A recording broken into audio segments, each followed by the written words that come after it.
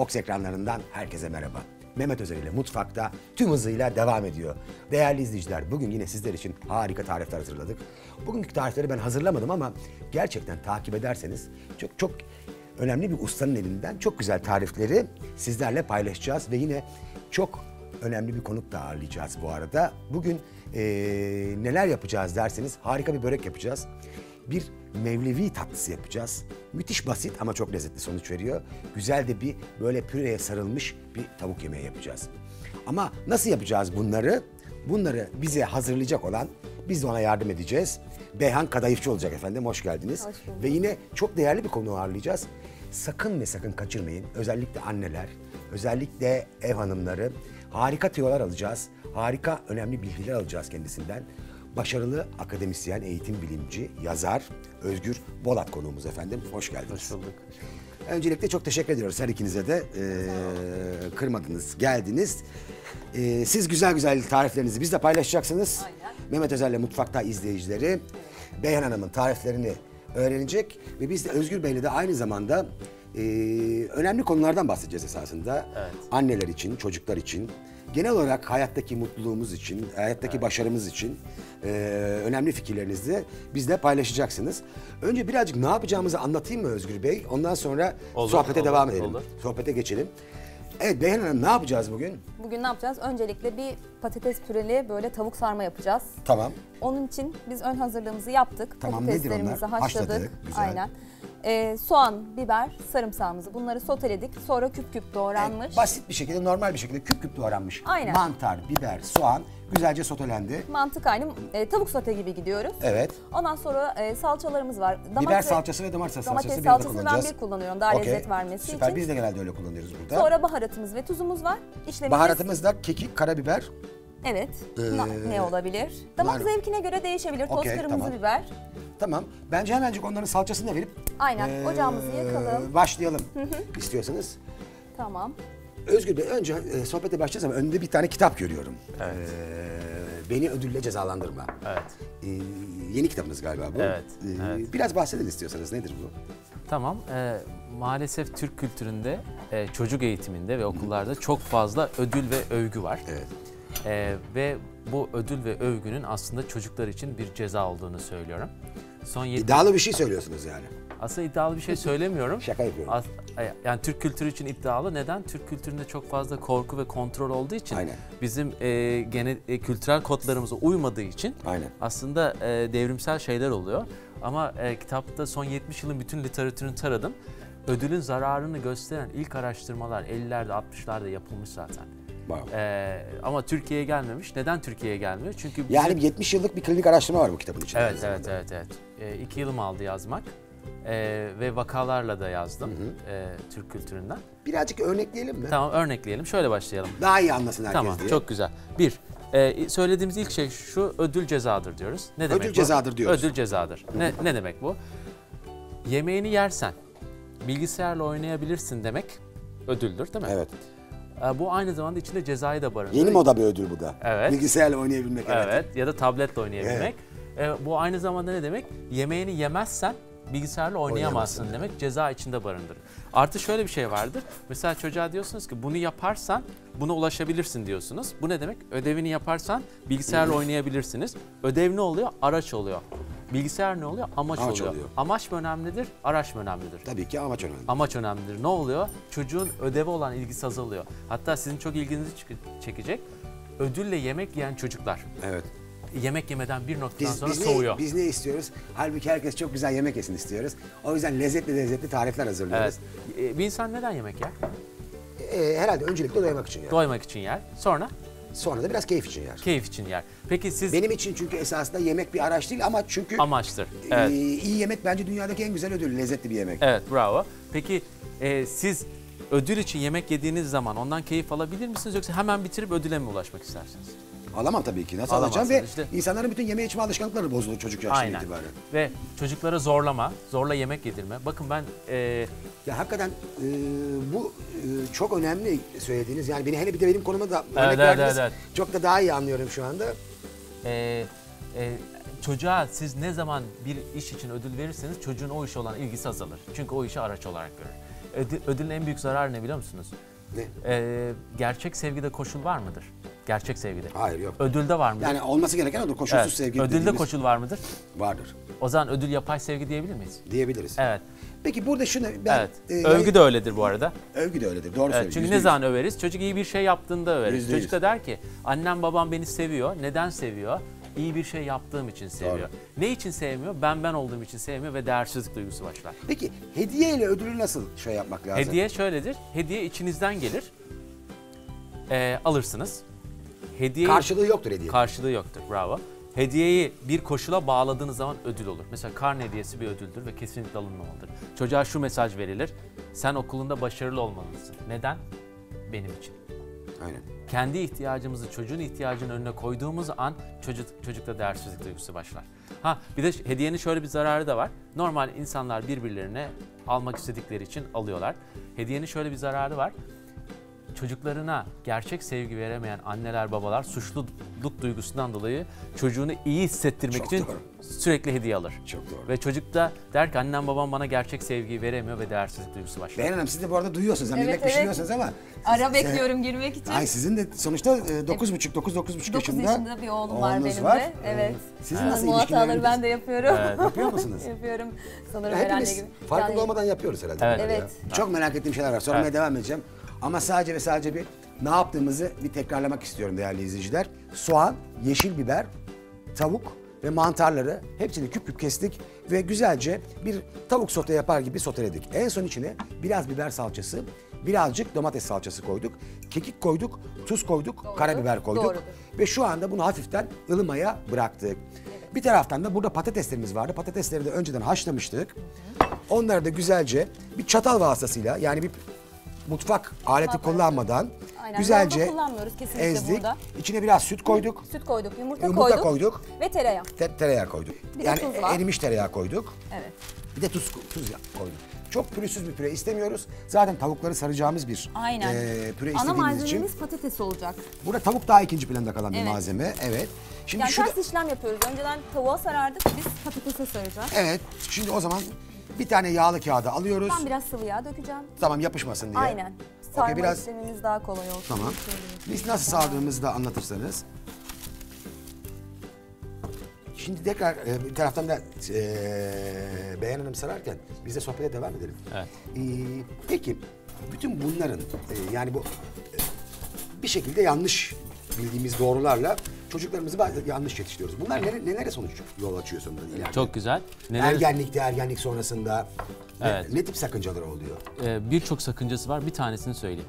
Mesela diyelim ki çocuk e, bilgisinin azlığından dolayı ya da kapasitesinin düşüklüğünden dolayı ödevini yapamıyor.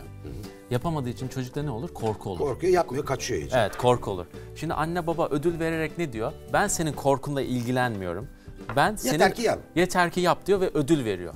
Çocuk da diyor ki annem babam beni korkumla diyor baş başa bıraktı ve terk edilmiş hissediyor.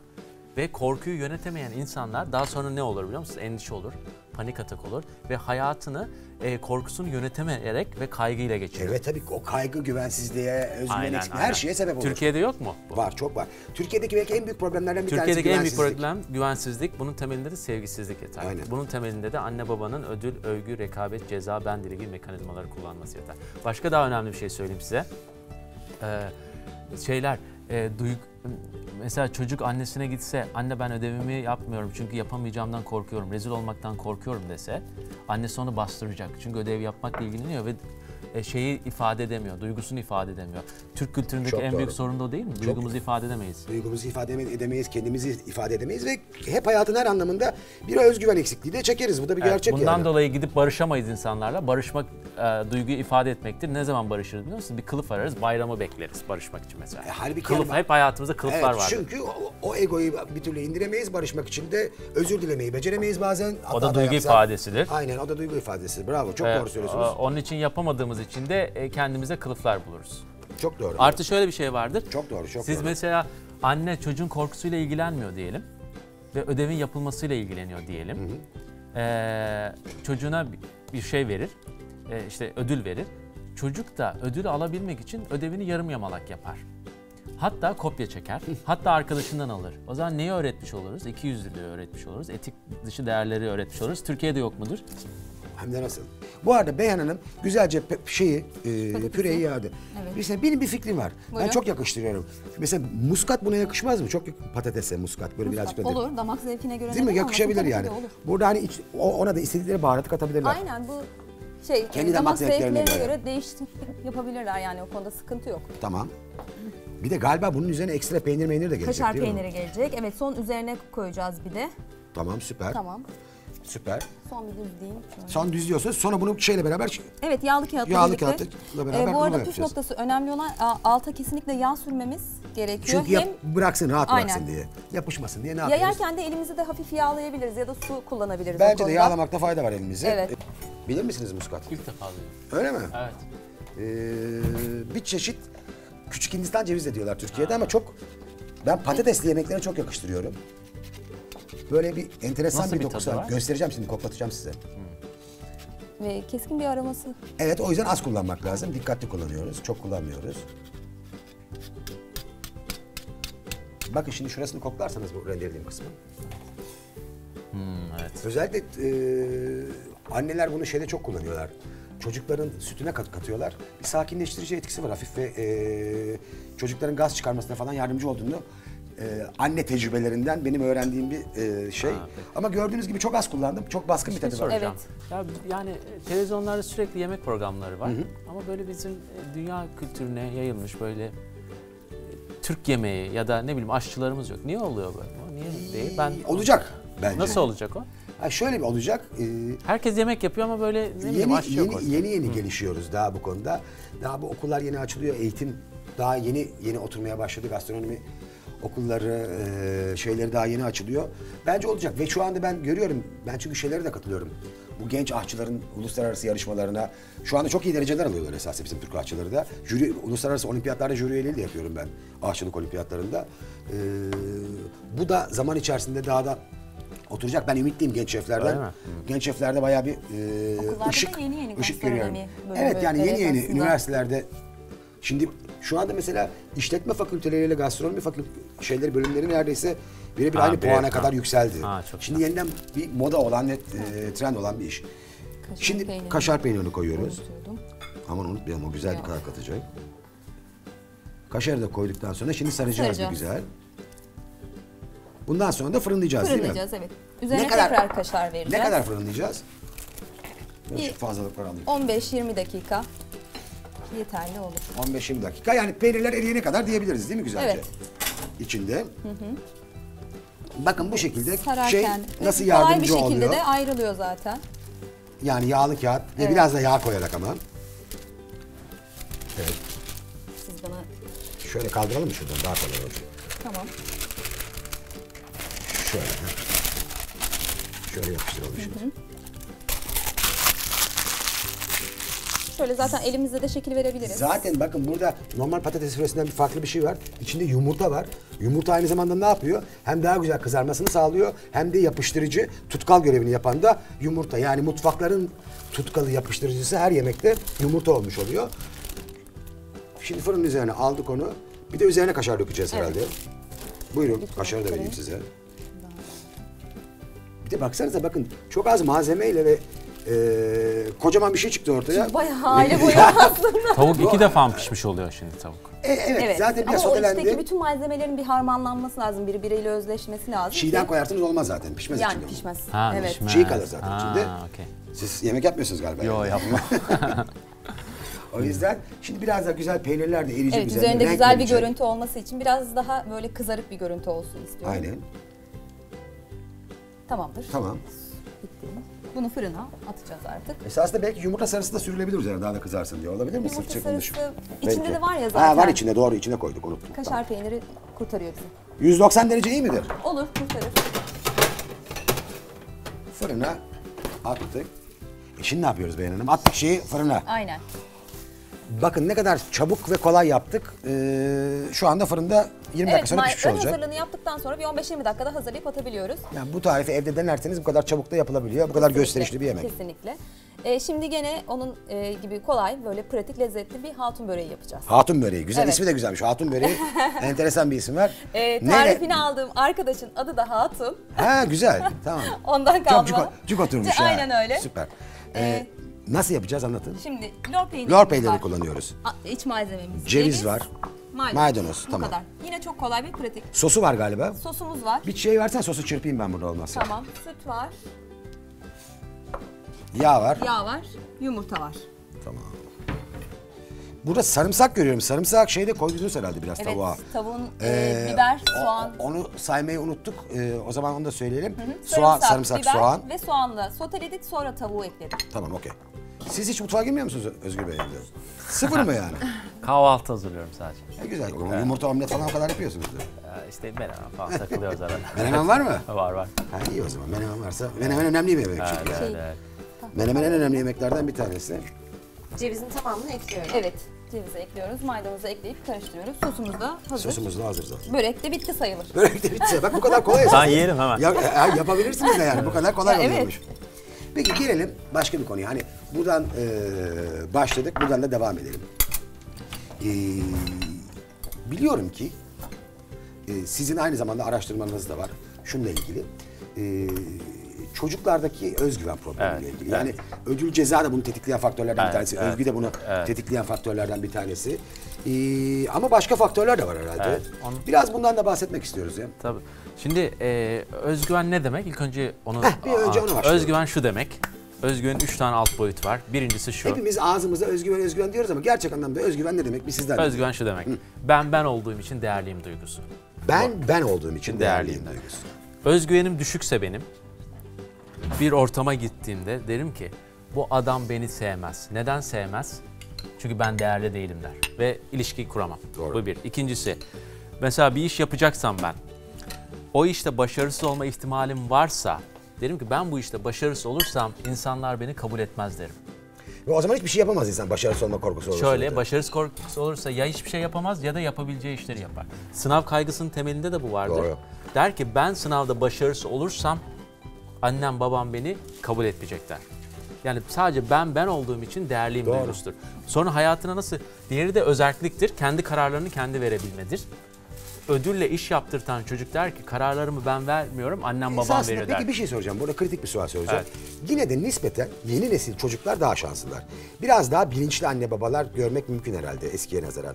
Eskiden bunları hiç konuşmazdık bile bilmezdik Evet. çünkü. Çünkü şöyle oldu. Ee, eskiden sizin 9-10 çocuğunuz vardı. Ee, çocuğunuzu kendi şekillendirme ihtiyacınız yoktu.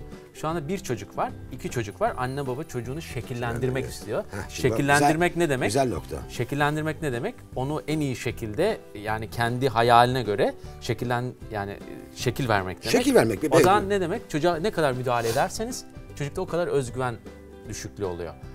Ee, ben annelere, Çünkü babalara eski çocuk, diyorum. eski anneler babalar belki bilinçsizdi ama daha özgüvenli çocuklar yetişiyordu. Evet, daha çok özgüvenli. Ve artı bizim toplumda birey yoktur. Mesela siz bana dersiniz ki şimdi yemek ye. Ben teşekkür ederim derim. Siz ne dersiniz? Aa ne güzel tercihini söyledi dersiniz. Evet. Zorlamazsınız değil mi? Ama biz ne yaparız? Hadi tekrar ye, tekrar ye, tekrar ye. Ben asla bilemem. Benim açlığımı mı önemsiyor yoksa, Yoksa ayıp olmasın diye mi yapıyor? Hı. Ve birey ölür. Şimdi günümüzde küreselleşen dünyada birey ön plana çıktığı için artık eski yöntemler işe yaramaz. Birey yetiştirmenin yönüne bakmamız lazım. Eğer annede Anne çocuğunu olduğu gibi kabul etmiyorsa, baba çocuğunu olduğu gibi kabul etmiyorsa çocukta özgüven eksikliği oluyor. Araştırma var. Türk kadınlarının yüzde 50'sinde özgüven eksikliği var. Yüzde 55. Çok büyük Çok oran acayip değil bir mi? rakam. Çok acayip bir rakam. Ve çok acayip bir rakam. bundan dolayı da bakın size çok enteresan bir şey diyeceğim. Bundan dolayı da Yüzde 50, yüzde 55 Türk kadınında özgüven eksikliği var. özgüven eksikliği var. Erkekler, peki eskiden erkekler yet- için de bu geçerli mi? Yok değil. e, e, araştırma kadınlar üzerine yüzde 77 idi eskiden düştü. Özgüven düştü. Yüzde 77 diyorsun. De Vay ve vay vay. %55'e düştü. Başka bir şey söyleyeyim size. Ve Türk kadınlarının 10 tanesinden 7 tanesi özgüveni olmadığı için, özellikle fiziksel özgüveni olmak için yargılanmaktan korktuğu için doktora gitmiyor ve sosyalleşmek istemiyor ve sosyal ortamlara girmiyor. Değerli izleyiciler çok acayip şeyler söylüyor Evet. yani. Acayipten kastım öyle acayip değil. Değil. Önemli şeyler e, söylüyor Özgür Bey. Panzehiri ne bunun? Onu ne, ol- konuşalım. Ne olur dinleyelim. Panzehrini de konuşalım. E, gerçekten çok önemli. Yani verdiğiniz rakamlar çok ürkütücü. Yani kendini beğenmediği için doktora mı gitmiyor doktor beni öyle görecek Evet diye. yargılayacak diye gitmiyor. Çok acayip. Yar- yargılanmaktan özgüveni düşük olan insanlar der ki benim içimdeki şey o kadar değersiz ki ben bunu açmayayım. Açarsam yargılanırım, da- yargılanır ve, ve toplum içine çıkmaz. Ya da ne yapar biliyor musunuz? Çok narsizm geliştirir. Ben çok özelim, ben çok iyiyim der. O da var bizde. Narsizm de vardır Narsizm ve de var. eleştiri de çok Ve fazla. böyle hani şey narsizm. İçi dolu olmayan bir narsizmden bahsediyor. Narsizm içi dolu değildir. Narsist insanlar ben özelim der. Özgüvenli insanlar ben eşsizim der. Özel olduğunuz zaman diğer insanların hepsini aşağılarsınız. Ve Eşsiz narsist- olunca sadece kendiniz olmuş olursunuz. Kendim olur. Ben eşsizsem siz de eşsizsinizdir, siz de eşsizsinizdir. Ve şeye baktığımızda neden çocuklarda özgüven oluşmuyor diye baktığımızda e, bunun birinci nedeni ne biliyor musunuz? Ne? Anne, baba, özellikle anne çünkü ilk bağlanma anneyle oluyor. Anne kendine güveni yoksa, özgüveni yoksa bu çocuğun model alma Zincir- yoluyla zincirleme. geçiyor. Peki, peki bir şey söyleyeceğim size. Mesela annenin özgüveni olmaması çocuğa da geçiyor diyorsunuz. Evet, evet. Bu arada şimdi şunu da soracağım. Ee, peki sen bir dakika o zaman bir, bir dakika. Onu sormadan evvel sen şu böreği bir sar. Nasıl saracaksın? Tamam ben hemen şöyle Ha. sarayım. Ee, normal rulo bir şekilde sarıyoruz. Çok sıkı olmayacak şekilde. Tamam yani normal şey gibi mi yapıyoruz? Bildiğimiz rulo yapıyoruz. Evet, uzun Daha sonra keseceğiz anladığım kadarıyla. Evet, şöyle parmak şöyle. kalınlığında. Keseceğiz öyle fırına vereceğiz. Evet, ondan sonra pişireceğiz. Bakın bu börek de çok bereketli bir börek oldu. Evet, Ee, ben bunu e, şu an yarı ölçüden yaptım. Bu verdiğimiz malzemeler e, 4 yufkalık. Ben şu an bir iki şey, tane bir, bir yufka şey söyleyeyim mi? kullandım. Ve bir de e, hafif bir börek ha bu. Evet. E, tek yapabilir miyim? Yani yapabilir mi insanlar? derken? Tek yufka. Tek yufkadan. İlk yufka çok ince oldu. İnce Çok oluyor. ince O olur. yüzden iki o zaman yufka. hiç börek hissi vermez. Evet. Peki bir şey söyleyeceğim. Şimdi bir de yeni moda var. Ee, yeni nesil anneler e, çocukların daha böyle bireysel olarak kendilerini iyi hissetmeleri için, daha özgüvenleri yüksek olsun diye hayır kelimesini lügattan çıkardılar. Bu, bu doğru bir şey mi? Her şey evet diyorlar. Bunun Tabii sebebi, çocuğum. sebebi özgüven yaratmak mı sizce çocukta? Bilmiyorum ama ben Anne- etrafım gözlemlerimden Evet, evet, söylüyorum. anneler öyle söylese de bunun nedeni nedir biliyor musunuz? Ee, üç çeşit aile vardır. Demokrat aile, otoriter aile ve esnek aile. Esnek ailede kurallar, düzenler belli değildir. Çocuğun her dediğine evet denilir. Bunun temel sebebi nedir biliyor musunuz? Annedeki endişedir. Anne çocuğu kendine bağımlı olsun diye, çocuğun sevginin sevgiye ihtiyacı Bakın duyarsa, değerli izleyiciler çok güzel bir noktaya çocuğun sevgisine ihtiyaç duyuyorsa çocuğunu üzmemek için sürekli evet der. Ha bir de bence bu- bunu bazen şeyden de okuyorlar ve bence okuduklarını yanlış anlıyorlar. Mesela kişisel gelişim kitaplarına falan filan. Çocuğunuzu iç, işte özgür bırakın. Tamam özgür bıraksınlar da Sınırlar içinde özgürlük. Ya işte onu demek istiyorum. Yani bunun sınırsızlığı herhalde olamaz. Olan ne olur biliyor musunuz? Çocuk anne babaya güvenir. Gerçek hayat nereye, nereye kadar tehlikeli, nereye kadar tehlikeli değil bana söylesin der. Anne esnek olunca, çocuğun her şeyine evet deyince çocuk acaba benim tehlike sınırım nerede der ve çocukta da endişe başlar. çok doğru. Ve bu çocuklar çok kaygılı oluyor. Çok ve doğru. Yani genellemek yanlış ama. Bakın burayı çok iyi dinleyin. Bu çok önemli çünkü ben bunu hep görüyorum etrafımda da o yüzden. Genellemek yanlış ama yüzde 95 diyebilirim ki bir yerde çocuk ağlıyorsa, ortalığı yıkıyorsa, ben bunu istiyorum diyorsa anne endişelidir, evde kurallar ve düzen yoktur, çocuk endişelidir. Anne çocuğun sevgisini kaybetmekten korkuyordur. Yani değerli izler şu bir gerçek ki özgüven kuralsız sağlam ve hayatımızın içinde mutlaka kurallar var. Çok önemli şey Kurallara mi? uymayı o- uymak ayrı bir şey. Bunun özgüvenle de bir alakası yok zaten. Ee, herhalde. Kurallardan daha önemli tutarlılıktır tutarlılık aynı zamanda doğru. Ee, ve rutinlerdir, sonra kurallardır. Otoriter aileler ne yapıyor biliyor musunuz? Çocuklarına hiçbir şekilde evet demiyor. o da o da bambaşka bir şey tabii. öz kimliği bastırılıyor. Esnek aileler sonra ne oluyor biliyor musunuz? Çocuğuna hayır diye, diyemiyor demiyor. Çocuk her şeyi istediğini sonra kontrol edemiyor. Bu sefer otoriter yapıya geçiyor. Mecbur Ve kalıyor. tutarsızlık başlıyor. Bu çocuklarda ne olur biliyor Peki musunuz? peki İnatçı olur bu çocuklar. peki bir, bunun bir de, demo- Asi. bir de demokrat aileler var dediniz. Demokrat aile nedir? O işin ideali doğrusu yani. Kurallar bellidir. Yemek saati bellidir. Çocuk isterse yer istemezse yemez. Ama saat bellidir. Saat bellidir. Yarım saat aralıklarla. Çoğu diyor ki çoğu çocuk anne akşam yemeği yemiyor çocuğum. Yemez tabii. Yemek saati belli mi? Değil. Kaçta yiyorsunuz? Baba gelince. Baba ne zaman geliyor? Belli bazen değil. 7, bazen 8. çocuk açıdan düşünün. Çocuk açısından düşünün. Saat 4. Çocuk hesaplıyor. Ya biz zaten çocuklara güvenmiyoruz. Sıkıntı o. Çocuk hesaplıyor. Babam 7'de gelir, 6'da gelirse yırttım. 7'de gelirse çok aç kalacağım. Bir gofret diyor. Gofret diyor 350 kalori aldı. Akşam yemek Zaten o yemez. tıkıyor tamamıyla. Evet. Çocuğun ihtiyacı 1000 kalori zaten. Eğer sen çocuk teneffüs yok okulda. Çocuk eğlenemiyor. Eğlenemeyen çocuk ne yapar biliyor musunuz? Ne yapar? Enerjisini atamadığı için yemek yemez. Eğlenemediği için, ilişki ihtiyacını karşılayamadığı için de uyumaz. Anne bunu karşılamaz, zorla uyutuyorsa da çocuğu yalnız Sena sen de bırakmış dinliyorsun değil mi bunları? Kulağım orada. Ben bir gireyim mi araya bir soru Bir gir sen araya. Ben Ben onu fırına atayım. börekleri. Ee, Ben de bir araya gir- sen, sen de bir araya 9 gir. yaşında benim oğlum 4. sınıfa gidiyor. Böyle büyük sınıflarda böyle bir sıkıntı oldu büyük sınıflardan bir çocukla. Biz de ona karşılık böyle bir ceza verdik ama siz orada ne dersiniz bilemiyorum. Nasıl bir sıkıntı oldu? Sen gerçek gerçek anlat şunu. Koruyun Size- siz beni tamam mı? Ben koruyorum. Yok, Estağfurullah. Tamam. Aradayım ben. Çekinmeyeceğim aradayım. Tamam. Ya e, ufak böyle bir tartaklama durumu sanki olmuş. Sizinkiler mi? tartaklı. Sizinkiler yapmış. Bizim sınıftakiler ve benimki de içinde. Çocuğun tartaklamasının gerçek sebebi ne? Bilmiyorum yani okulda. Peki bunu bunu öğrenmeniz gerekmez mi? E, şöyle. Sen yandın. ben diyorum ya koruyun beni diyorum. Şimdi bak kitapta anlattım. Pide, bir şey diyeceğim. Pide diye Ay. pide diye bir yöntemi Yok, var. onu söyleyeceğim tamam, de. Ha. E, yani Siz ne yaptınız peki? koşuyorlarmış. E, tutmuş benim oğlan. Sonra başka bir e, arkadaş ufaktan böyle bir hani şey yapmış. Tartaklamış gibi. Tamam. Biz de ona karşılık yani siz ne dersiniz buna tepkiniz nasıl olur bilmiyorum ama biz de ona karşılık ceza verdik. Yani odasını Evet. şey yaptık. Hani Evet. odasında da Ceza ne yatırmadık. demektir biliyor musunuz? Ceza, Ceza. yaralı çocuğu bir daha yaralamak Hmm. demektir. Nedenini anlatayım. Yaralı çocuğu bir defa yaralamak ne demek? Çocuğunuz niye yaralı? Şimdi onu söyleyeyim. Niye yaralı biliyor musunuz? Çatışma normalde konuşarak çözülür. Konuşmanız için de sizin duygunuzu ifade etmeniz lazım. Karşı tarafı anlamanız lazım. Eğer bunu öğrenememiş çocuklar, duygusu bastırılmış çocuklar kendi güçsüzlüklerini iki yolla yenerler. Birincisi şiddettir, ikincisi de küfürdür. Eğer sizin çocuğunuz şiddet uyguluyorsa O uygulamamış, aracı olmuş. aynı şey. Aynı şey. Aracı olmuş. Şiddet ya da küfür küfür kullandıysa ilk önce yapmanız gereken şeydir. Çocuk kendisinin neden duygusunu ifade edemedi de. Çocuğunuzun asıl sorunu budur. Duygusunu ifade edememe ve kendi kimliğini saldırganlıkla kabul ede- edememe sorunu var.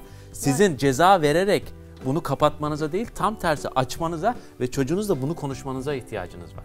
Diğer çocuk da sıkıntılıdır. Yani hiçbir ceza vermesinler mi bu durumda o zaman? Hayatta hiçbir ceza yoktur. Hiçbir ceza yoktur hayatta. Sadece bedel ödeme vardır.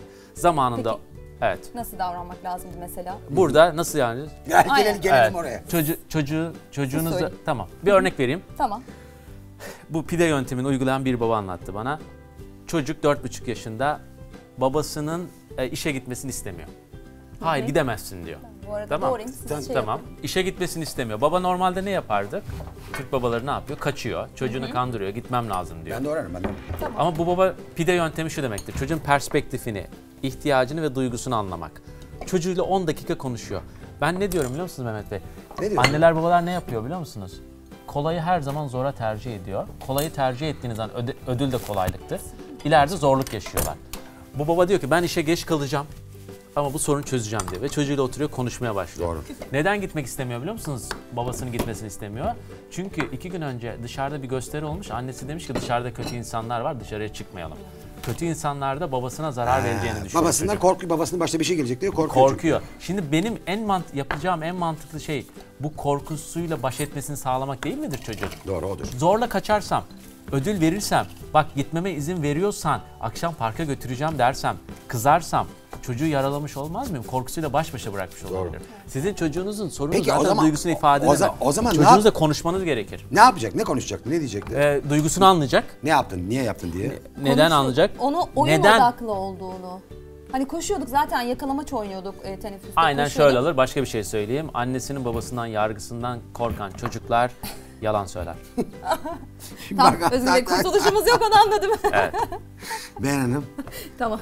Şey, çocuğunuz çocuğunuzu cezayı hemen kaldırın, özür dileyin. Kaldırdık zaten bitti çok oldu bu olay. Evet, evet özür dileyin Ha, ama eski olay bu. Eski bir olaydı. çocuğun kafasında ne var biliyor musunuz? Şu anda öcünü almak var ve diğer arkadaşına karşı kin duyuyor. Çünkü onun yüzünden ödül Bilgisayar aldı. gitti elinden. Evet. Yani Ve ne, ne var biliyor musunuz? Öcünü o çocuktan alacak. Ne olacak? İlişkileri bozulacak. Hmm, bakın Ve şimdi. çocuğunuza ne öğretmeniz lazım biliyor musunuz? Duygusunu ifade Gitti ben etmek. şu an çok ben çok... Yemek yemek kalmadı yapamayacak tatlıyı. tatlı yapıyoruz Değer, bir de. de- değerli izleyiciler. Ha, bir- bir şey söyleyeceğim. Çok önemli. Çok, çok önemli. bu-. Çok önemli bir şey söyleyeceğim. Çocuk Devam. ya da insanoğlu üzüntü olduğu an bunu yemekle gidermeye çalışırsa obezite başlıyor işte. Ama mutlu insanlar yemek yemiyor muydu? Yiyor ama e, Ben- neşeli olduğu için yiyor. Üzüntüsünü kapatmak için yemiyor. Üzüntüsünü kapatmak için yenildiği Ama öyle an yiyenler de var. Doğru tabii. var. Üzüntü tabii. Ya Çünkü kim- dopamin Yani- salgılar. Ve esas, Beyin dopamin esasında salgılar. daha çok da üzüntüsünü kapatmak için yiyenler daha çok kilo alıyorlar. Evet kilo alırlar. Ne için? Bakın korkuyla yapılan her şey zararlıdır. Sevgiyle yapılan her şey yararlıdır. Siz Aynen. keyif için yiyorsanız yararlıdır. Ve neşe de onun örneğidir.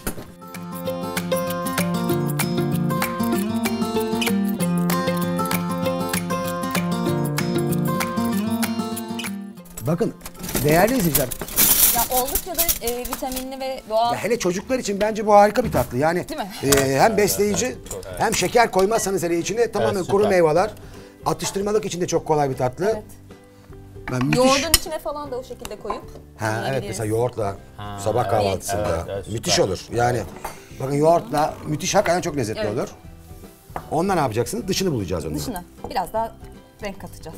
Peki bunu beğenen şey mi top haline mi getireceğiz? haline. Tutacak mı birbirini bunlar peki sence?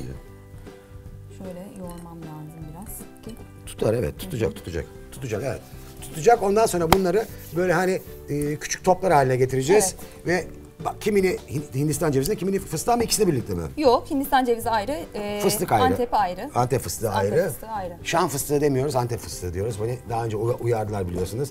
Benim bazen ağzımdan Şam fıstığı diye çıkıyor ama Şam fıstığı demiyoruz, Antep fıstığı diyoruz. Tekrar söylüyorum, hurma ve kayısıyı önce küp küp doğradık. Evet. Cevizle beraber rondodan geçirdik. Daha sonra bademlerimiz vardı. Ee, tuzsuz badem ve üzüm. Onları da rondodan geçirdik. Arkasından içine birazcık pudra şekeri, birazcık pekmez koyduk. Daha sonra yoğurduk. Daha sonra bunları bazılarını toz Antep fıstığına, bazılarını da toz Hindistan cevizine Evet, bulacağız. isterse kakaoya da bulayabiliriz. Ve şey hazır olacak. Evet, Evet, istersek bitti tatlımız bu kadar. kakaoya bulacağız ve yavaş yavaş zaten şimdi size tadına baktıracağız hepsini. Tamam, tamam. Ee, böreklerin de pişmesini bekliyoruz. Ve börekler de artık evet hissediyorum ki pişecekler. Onu tutturan pekmez mi onlar? E, zaten hurmada şekerli Ha. e, yapışkan, kayısı da aynı şekilde olduğu Bir için. de onlar yapışkan ya bir de rondodan yani. geçince iyice yapışkanlıkları ortaya çıkıyor. Yani hani şeyle yiyecekseniz eee, mesela yoğurtla içine belki bir parça bu karışımın içine şey de atılabilir. Yulaf. Mısır gevreği, yulaf Tabii. eee, gibi şeyler de atılabilir. Harika bir kahvaltılık olur hakikaten. Kesinlikle. Hem çok enerji Evet, dolu evet, evet, çok hem çok oldu. besleyici. Harika da oldu hakikaten. Güzel de şık da bir standımız var. O da hazır olmaya başladı. Şimdi birazcık daha tekrar eee, özgüven konusuna geri döneceğim. Yemekleri tattırmadan önce size. Eee, demin dedik ki dedik, dedik ki özellikle anne ve çocuk ilişkilerinde Evet. ve özellikle kız çocuğu ilişkilerinde. İlk bağlanma anneyle olduğu Ve hatta için. ve hatta dedik ki Türk kadının en büyük problemlerinden bir tanesi fiziksel özgüven eksikliği. Bir şekilde kendilerini beğenmiyor Türk kadınları öyle mi? Evet beğenmiyor. Neden? Neden? Çünkü eğer sizde değersizlik duygusu varsa, kendinizi olduğunuz gibi kabul etmiyorsanız kendinizi sevmezsiniz. Aynen. Peki bu neden fiziksele yansıyor? Eğer anne baba, öz- özellikle anne Anne yani burada Ke- anne figürü çok. Kız çok önemli anne bağlanma. figürü çok önemli. Eğer anne Kendine güvenen anneler e, kendine güvenen çocuklar yaratıyorlar esasında Aynen öyle. mi? Anne ne kadar kendisini olduğu gibi kabul etmiyorsa, olduğu gibi sevmiyorsa, Evet. vücudunu herhangi e, e, yani e, bedenini olduğu gibi sevmiyorsa, yargılıyorsa, çocuk bunu modelliyor. Anne neyi yargılıyorsa modellediği için çocuk da onu yargılıyor. Aynen. Ve böylece ona geçmiş oluyor. İkincisi hayatta iki farklı bakış açısı vardır. Biri algılayarak hayatı anlamak, e, bir de yargılayarak hayatı anlamak. Algılayan hayat, kişi Çok ne yapar? güzel. İlk önce empati kurar. Müthiş bir Değil mi? Algılayarak. E, ve yargılayarak. Yargılayarak. Anne kendini yargılıyorsa çocuk diyor ki ben de yine model alma yoluyla çocuğa geçiyor. O zaman diyor ben de hayatı yargılayarak algılayayım, algılayayım diyor. Ne yapıyor? Kendisini yargılamaya başlıyor. Aynen. Kendisini olduğu gibi kabul etmiyor. Ben ben olduğum için değerliyim diyen in- insan ne der? Ben değerliysem bana ait olan her şey değerlidir. Yüzüm değerlidir, gözlerim değerlidir, burnum değerlidir ve kendisini olduğu gibi sevmeye başlar. Aynen. İşte annenin kendine olan güvensizliği, annenin yargılayıcı bakış açısı modelleme yoluyla çocuğa geçiyor. Niye modellemeyle geçiyor biliyor musunuz?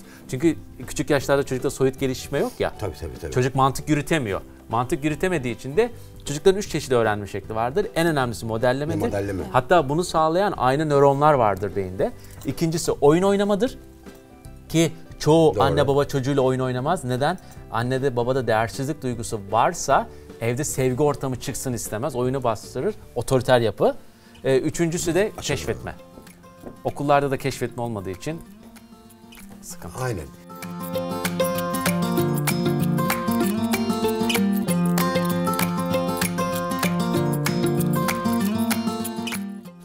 Bu arada bizim yemekler de pişti. Ee, hem sohbete devam edeceğiz ama istiyorum ki hem de bir saç tadına bakın diye. Şu bir kere bakın Mevlevi bir tatlımızı gayet şık bir şekilde Yaptık. sunduk. Ne kadar basit, ne kadar besleyici ve o kadar da lezzetli bir tatlı olduğunu biraz sonra göreceğiz. Lezzetini daha Ben bunu, yemedim. e, mesela yaptım bu kadar. Ne kadar saklayabilirim ben bunu? Yani ne zaman bozuluyor bu? Bence içinde kuru meyveler olduğu için Olduğu için bir, bo- bir ekstra bir şey koymadık zaten. Hiç ekstra bir şey Mesela yok. bir hafta durabilir mi? Durur. E, top Buzdolabına yapmayın. durur. Ağzı kapaklı bir şekilde bırakın. Stre- istediğiniz zaman, istediğiniz şekilde kullanın. Streç filmi üzerine çekip Aynen. buzdolabına koyun. İçinde sonuçta kuru meyve var Tabii, ve tabii. pekmez var. Hiç bozulacak bir malzeme yok içinde bunun. Şu şeyi Yok. getiriyorum artık ben. Bu olay oldu çok güzel gözüküyor. Ben şöyle yer açayım. Şöyle getirdim. Tamam. Şu tam ortasından mı keselim? Olur. Tam ortasına vuralım bıçağı. Vay vay peynir de çok güzel erimiş o. Da bence bir rengi de çok güzel olmuş. Ben Fırında çıkar, alayım. bence börekler de Evet. çıkar. Hepsini çıkar, hepsini birlikte servis yapalım. Nasıl bir dilim keseyim? Şöyle mi keseyim? İnce. Şöyle keseyim mi? Aynen olur. Bir servis tabağı vereyim ben size. Bir de spatula Bu sonra verelim yeniyor ki- mu burada? Bitiyor mu bu burada? Ya gö- Herkes- görmeniz lazım. Burada bir savaş çıkıyor sonra. Öyle mi? evet, burada hatta bazı arkadaşlar zaman biz de, meşhur. biz de takılalım burada. Vurmalar gitti zaten. Öyle mi? Vurmalar yok. Git- gitti mi? Bir şey söyleyeceğim. Diğer şunun yarısında şu börek Aa, çıtır çıtır yanmaz.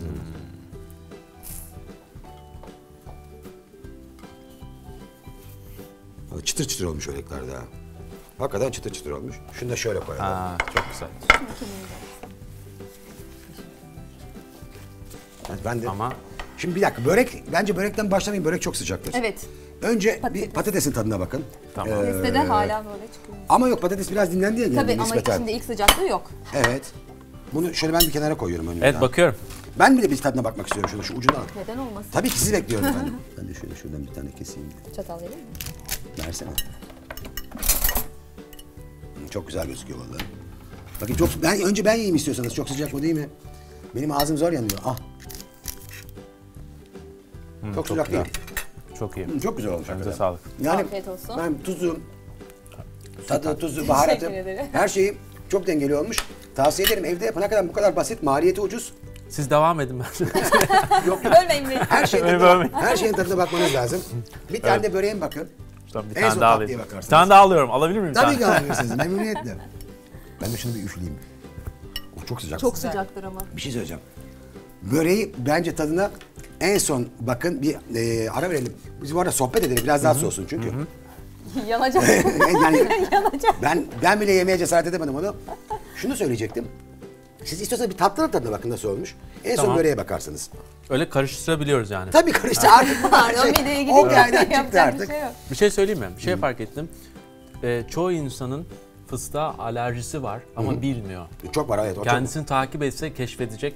Aa, Fıstık alerjisi çok insanda var. Evet, hakikaten. evet, çok Yani ona dikkat Ha. etmek lazım. Çok doğru bir söylüyorsunuz. Ama bu bakın hafif tatlımız nasıl olmuş? Hmm, çok Lar güzel mi? çıksın. Gerçekten. Bundan yolluk yapıyoruz bana. Tamam kesin. kesinlikle yapıyoruz. Bol bol var. Yolluk yapıyoruz. Yolluk yapıyoruz.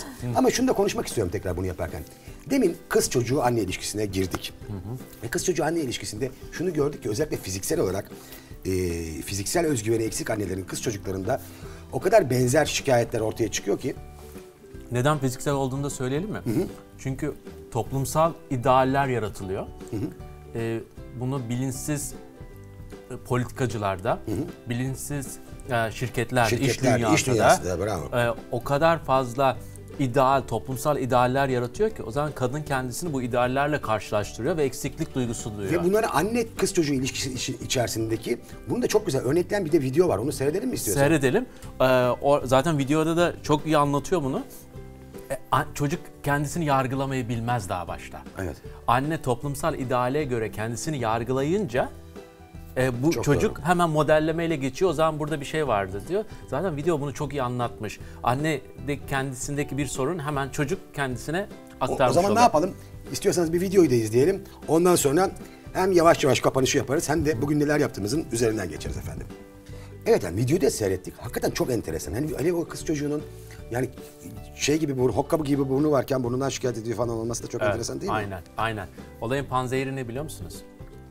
Ee, anne kendini olduğu gibi kabul ederse, ben ben olduğum için değerliyim diyorsa, kendisini olduğu gibi seviyorsa çocuk için hiçbir şey yapmasına gerek yok. Zaten bu çocuğa geçiyor. Zaten ben annelere babalara söylüyorum. Eğer iyi bir modelseniz çocuğunuza hiçbir şey vermenize gerek yok. Sadece almayın diyorum. Çocuk zaten bu özgüveni sizden alacaktır. Peki lafınızı da ben börekle kesiyorum.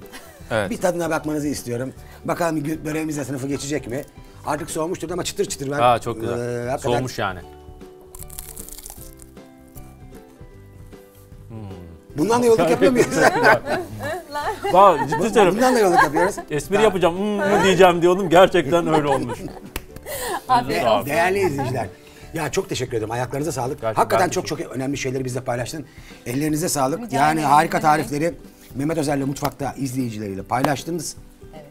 Ama ne yaptık? Bugün de programın sonuna geldik. Çok hızlıca bugün ne yaptığımızın üzerinden geçmek istiyorum. Bugün Beyhan Hanım'ın tariflerini yaptık Beyhan Kadayıfçı'nın. Öncelikle bir patates rulosu içinde tavuk sarma yaptık. Onun için ne yaptık? Patatesleri önceden haşladık. Daha sonra içine biraz süt, birazcık erimiş tereyağı ve yumurta kırdık. Ben de birazcık içine muskat ilave ettim. Biraz tuzunu, biberini ayarladık. Ondan sonra onu bir püre haline getirdik. İç malzemesi için tavukları soğan, sarımsak, yeşil biber ve mantar küp şeklinde kestiğimiz biraz yağla birlikte güzelce soteledik. Daha sonra biraz biber salçası, biraz domates salçası koyduk. Daha sonra tuz, kekik ve karabiber ekledik. Onu da kenara aldık. Güzel bir yağlı kağıdı yağladık. Onun üzerine güzelce patates püremizi açtık. Ortasına bu tavuklu harçtan koyduk. Onu şöyle güzel güzel bir rulo haline getirdik yağlı kağıdın da yardımıyla. Daha sonra üzerine güzel peynir rendesi koyduk. Bu arada iç harcının içine de peynir rendesi koymayı unutmadık. Daha sonra bunu güzelce önceden ısıttığımız fırında üstü nar gibi olana kadar pişirdik. Bir de çok güzel bir börek yaptık. Ne böreği yaptık? Hatun böreği yaptık. Onun içinde yufkamızı güzelce şeye açtık tezgahımızın üzerine. Bir sos yaptık. Sos için sıvı yağ, süt ve yumurtayı biraz tuzla beraber çırptık. Ondan sonra bir kat yufkanın üzerine çok hafif, çok olmayacak şekilde, kıtırlığını kaçırmayacak şekilde onu sürdük. Sonra bir kat daha yufka koyduk. Sonra iç malzememizi koyduk. İç malzememizde ne vardı? Kıyılmış ceviz, maydanoz ve lor peyniri. Onu da güzelce üzerine yerleştirdik. Tekrar aynı işlemleri yaparak iki kat daha yufkayı üzerine koyduk ve yerleştirdik. Sonra güzel bir yanlarından kapatarak rulo haline getirdik. 2 santim aralıklarla kestik. Tekrar o yaptığımız sostan en son üzerine sürdük. Önceden ısıttığımız 190 derece fırında altın rengi olana kadar pişirdik. Bir de mevlevi tatlısı yaptık efendim. Bunun için de kuru meyveler kullandık. Önce kuru kayısı, kuru hurma ve cevizi güzelce rondodan çektik. Daha sonra badem ve kuru üzümü rondodan çektik. Bunların hepsini bir kabın içine aldık. Biraz pudra şekeri, birazcık pekmez koyduk ve güzelce böyle bir hamur kıvamına getirdik. Ondan toplar yaptık. Kimini Hindistan cevizine buladık, kimini e, toz antep fıstığına buladık ve e, ortaya hakikaten harikulade mevlevi tatlılarımız çıktı.